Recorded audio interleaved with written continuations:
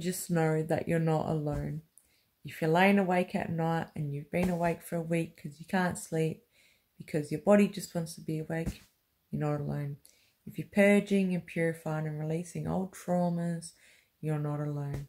If you're feeling angry and frustrated and just irritated as fuck, you're not alone. If you're feeling confused and you feel like you know you you knew what you were doing with your life and then all of a sudden you're blank and you don't know what you're doing, you're not alone.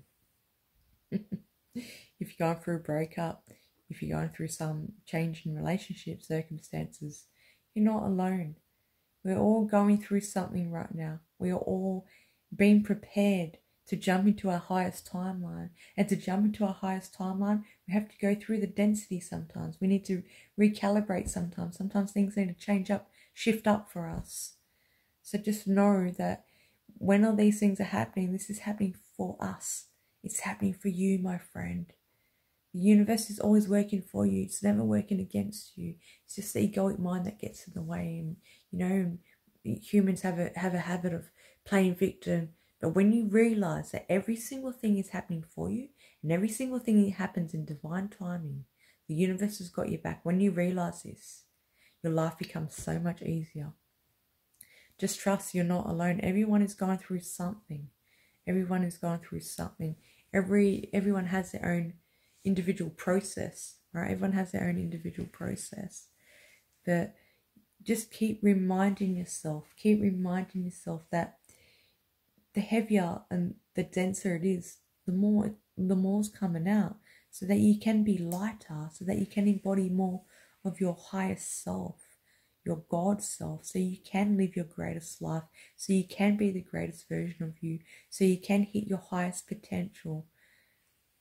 This is why all the darkness has to come up, all the shadow needs to be faced.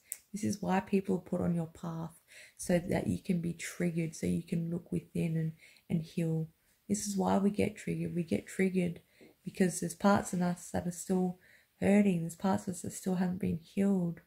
So use these opportunities when you're triggered. Use these opportunities and just thank these people that are triggering you. Thank these people that are pissing you off because they're actually helping you grow.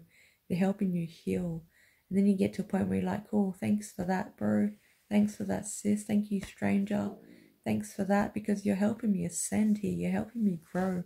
You're helping me expand. You're helping me expand. Be kind to you at this time. What are you doing to look after yourself? Are you doing giving yourself extra love, extra care? Are you running yourself baths? Are you relaxing on the beach? Are you just like sitting in earth with the trees, letting the beautiful Mother Gaia earth energies just hold you and nurture you? Are you giving yourself self massage or are you getting massages? Are you eating well? Are you drinking good clean water without, you know, fluoride in it?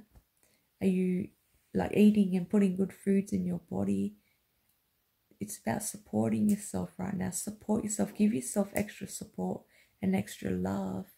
And you know, some of us feel alone at this time and it feels like a lonely journey. And you know what? If you can reach out to people, even if it is online, it's a beautiful thing. And you have, when you start to look around, you start to see that you're not alone. There's many people around the world on this accelerated ascension timeline and you're one of them. And this is why you're here. So you should be so super proud of yourself.